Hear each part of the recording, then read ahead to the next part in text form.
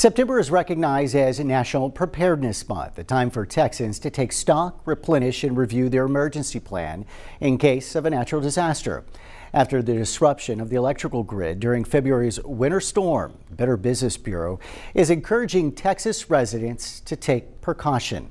Katie Galan with the Better Business Bureau joins us now with some recommendations when it comes to our emergency plan. Katie, thank you for joining us. Now, you say Texans should be taking disaster preparation seriously.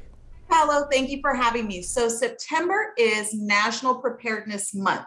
So, for us here in Texas, this is really important because as we saw in February, um, with our winter storm and the disruption of our power grid, um, it's really, really important that we take all of the necessary steps to make sure that we're prepared for any type of disaster. Um, so, something worth mentioning is um, there was a report that was sponsored by NASA that ranked Texas the first in the country in the variety and frequency of natural disasters. And what should Texans pay close attention to?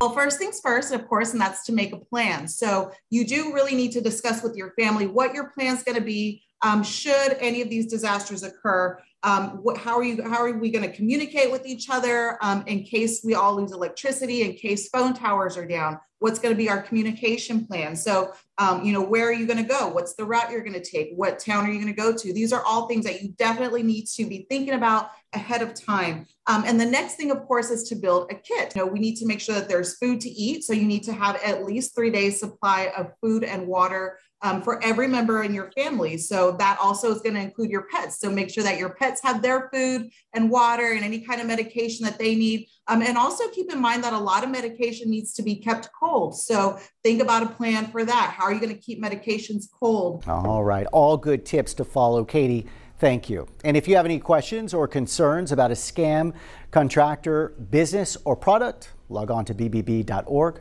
for more. Stay with us. More news at noon right after this.